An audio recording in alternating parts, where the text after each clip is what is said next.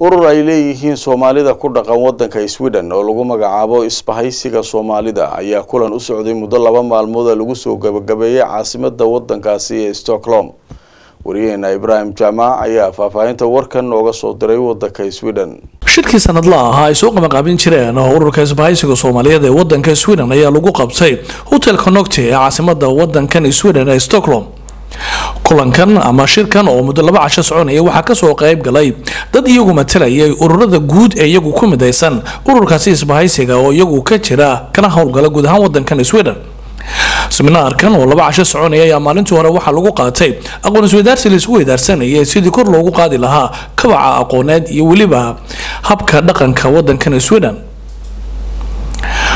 maalintii labaadna waxaa halkaasi lagu qabtay shir sanadeedkii ururka isbahaysiga soomaaliyeed iyadoo weliba dib eegis lagu sameeyey. Xeerarka iyo weliba sida ururkaasi iduu u shaqeyn lahaa una noqon lahaa urur matala guud ahaanba ururada soomaaliyeed ee ka jira wadanka sweden.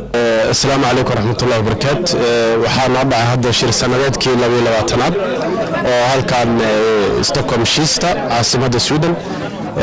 Si qurux badan buu noogu dhacay. Laba maalmood konferensi aan ka wada hadlaynay ururadeenna membarka naga ah xubnaha naga ah. Aan ka wada hadlaynay horumarinta ururka isbahaysiga iyo horumarinta ururyadeenna xubnaha naga ah oo degmooyinka sweden kala degan.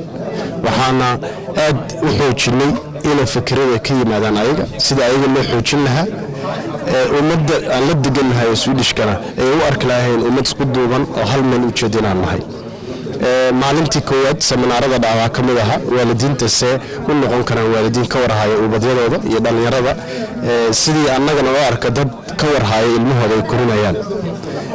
Seminaarkii labaadna waxaan ka hadalnay sida dhallinyaradeenna iyo ururyadeenna layskugu xiri lahaa. Waayo ururyada waxaan aragnay hadda dhaawacyana soo gaaray. Dhaawacyada waxaa ka mida dhallinyaradeenna criminalsa ku biirtay ama problemyo mashaakil faamiliyada la kulmeen inay ururyadana ka qayb qaataan siday dhallinyarada ayagoo yaryar ay waddo sax u tusi lahaayeen ay garab u sii lahayen waalidka siday waddo sax u qabsadaan ilmaha. Waxaana ku soo gabagabeynay horumarka ururyadeenna aan rabno annaga ururka isbahaysiga inay dalkii soomaaliya ka fuliyaan. Inay dalkao dhan ay noqdaan dad horumarka ka shaqeeya isbedelkan quruxda badhaca ka qayb qaata. Maantana shir sanadeedkiina nooga dhacay maalintii labaad oo la marayo in dastuurka iyo nidaamka ay ururyadeena naga filayaan. Sanadkan soo socdo saa u shaqaynayno iyo waxay sanadka dambe nogula xisaabtami doonaan inaan insha allah ay hadda noo soo gudbiyaan ururkan waa urur ah soo jiray ilaa muddo sannadkii labaatanaad ku dhow haddar.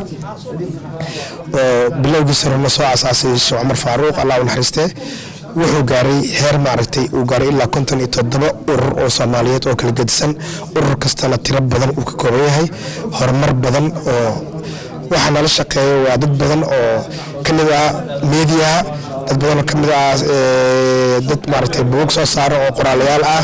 Waxaa ka mid ah maaragtay takhaatiir urur leh ganacsato ururo badan oo ka shaqeeya bulshada.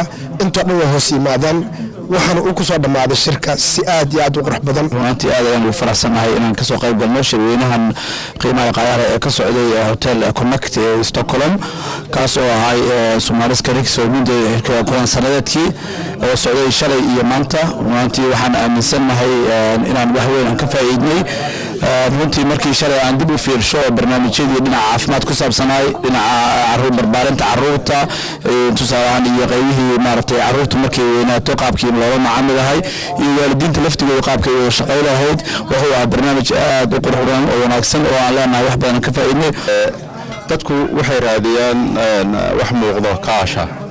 Aniga laakiin waxaan ka arkaa inay tahay midnimada soomaali iyo medlemarka oo kor u kaca inta xubnaha ka ah waxay xoojinaysaa jiritaanka identitydka qofka soomaaliga ah.